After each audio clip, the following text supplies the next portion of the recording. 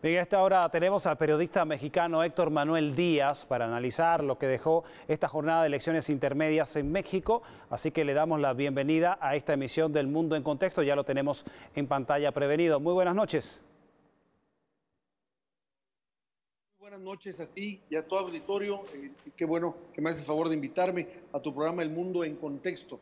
¿Cómo estás? Muchísimas gracias, muy bien acá Héctor. Y bueno, comenzamos de inmediato esta, esta entrevista para preguntarte tu opinión sobre la matriz mediática, tanto en México como internacional, sobre la supuesta derrota del presidente López Obrador, ya que quisieron adelantar un supuesto plebiscito con esta elección intermedia. Bueno, te diré al respecto de que la derecha, en este caso a través de los medios que controla, como bien sabes tú, y aparte de que hace ese cerco informativo por el que se le, se le conoce muy bien en Latinoamérica y en el mundo, hace un sesgo también de la información que decide transmitir. Se está coordinando y lo vimos recientemente a nivel internacional cuando una revista eh, de inglesa, la Economist, acusó al presidente llamándolo falso Mesías, como que también preguntando uno si ellos tenían realmente el cierto, el verdadero ahí guardado en Inglaterra, ¿no? Y luego, en días posteriores, también un medio en Francia, Le Monde, hacía una alusión con este mismo, en ese mismo rubro, y también una publicación alemana, o sea, están todos de acuerdo. Sí, como bien mencionas, hay una matriz mediática de golpeteo hacia, hacia, hacia la presidencia, hacia el presidente, hacia el programa de él, eh, porque estos, estos medios lo que realmente están representando es pues, el neoliberalismo y les duele mucho lo que está pasando. A nivel eh, nacional, la prensa de derecha, que controla casi la mayoría, es hegemónica totalmente aquí en el país, este, siempre están cuestionando al presidente y hasta diciendo mentiras burdas, eh, absurdas. Ya no miden lo que ponen, ya lo hacen sin el menor pudor.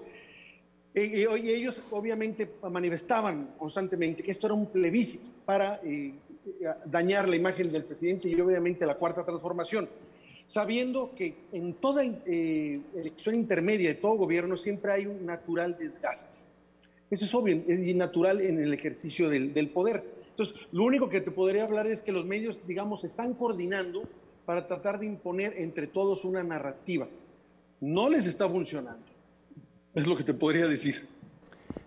Héctor, otra precisión ya en el análisis de esta jornada electoral, elecciones intermedias, por el lado de la derecha y el centro, ¿cómo observas o cómo observaste el desempeño de la coalición entre los partidos el PRI, la Revolución Institucional, el PAN, Acción Nacional y el PRD, una que hemos entendido una coalición inédita en ese país?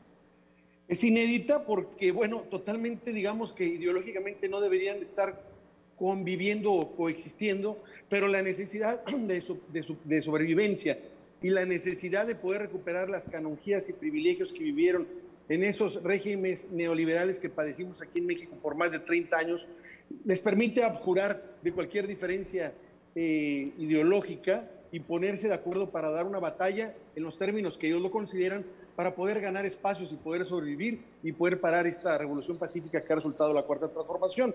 Pero te comento, mira, ahorita has diste un dato que te lo tengo más o menos que a lo mejor corregir un poco. A nivel de, este, a nivel de, todos los estados se, contendió por 15, por 15 gobernaturas. La oposición solo ganó cuatro. Solo cuatro. Morena ganó 11. ¿Sí? Y puede ser que gane alguno otro porque van a estar en disputa muy factiblemente se vaya a tribunales, Morena pudiera ganar una más. Sumar estos que ganó, estas elecciones que ya ganó Morena en estos estados, en estos 11 estados, más los 6 que ya tenía, le da mayoría eh, de control de los estados del país, que son 32, por eso tendría 17, por decirlo así.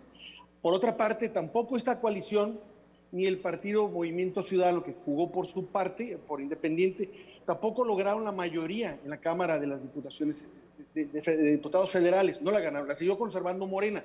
Sí perdió diputados en relación al 2018, pero eh, quedó, eh, digamos, tenía 250, 256 en 2018, ahora bajó, sí bajó, pero con los aliados que tiene el PT y el Partido Verde Ecologista, suma 301 eh, diputados, o sea, conserva la mayoría. ¿Qué, es lo que se pretendía? La mayoría calificada realmente no la tuvo en el 2018, ni tampoco ahora, que es como también alega la, la, derecha, están alegando de que no consiguió la mayoría la, la, clasificada, ni la mayoría absoluta, no, sí se ganó la mayoría, se conservó, no la clasificada, que es la que te permite hacer cambios constitucionales, pero esa tampoco se ganó en el 2018, y sin embargo, estas transformaciones y cambios constitucionales sí se dieron, porque se negociaron perfectamente y se pudieron dar, y es lo que se esperaría ahora en esta misma legislatura.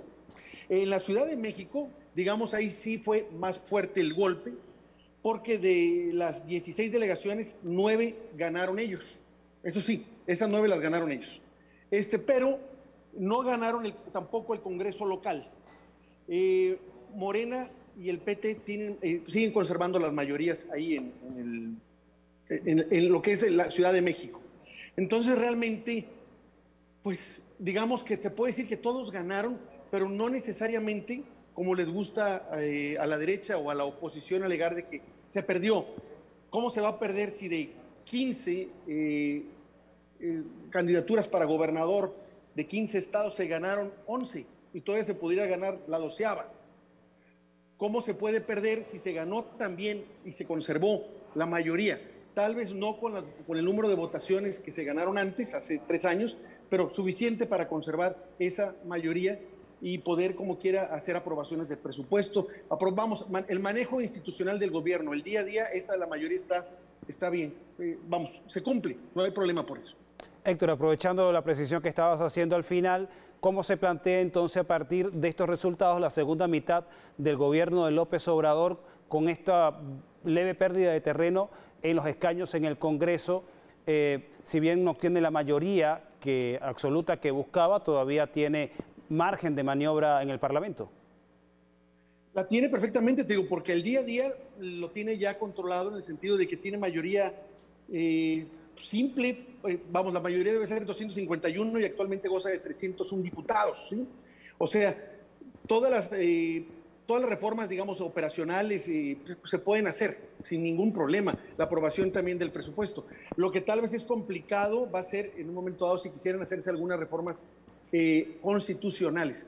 Ahí se necesitarían 334 diputados con que no, o sea, que, no se tienen, se tienen 301. Pero te comento, tampoco se tuvieron en la legislación pasada del 2018 y se hicieron esos cambios constitucionales. O sea, no eh, Morena pudo negociar perfectamente con partidos, eh, el, vamos, el llevar a término estas, estas modificaciones a, a la Constitución sin problemas.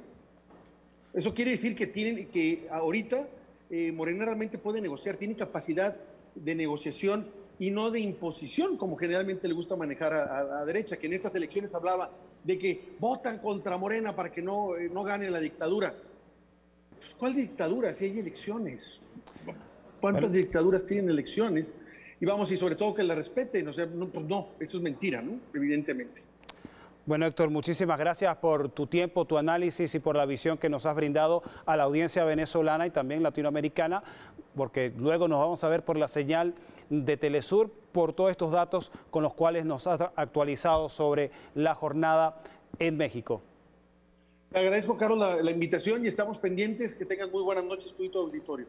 Muchísimas gracias, Héctor. Bueno, que nos actualizaba, ya no son 10 gobernaciones ganadas por Morena, sino 11 de las 15 que se resolvieron durante la jornada de comicios intermedios, los más grandes en la historia reciente de México, más de 20 mil cargos en disputa, 15 gobernaciones, 500 diputados, en donde el partido Morena, si bien perdió unos 50 escaños como partido, la coalición sigue conservando la mayoría simple en el legislativo, lo cual le va a seguir permitiendo tener una holgura o margen de maniobra al gobierno de López Obrador.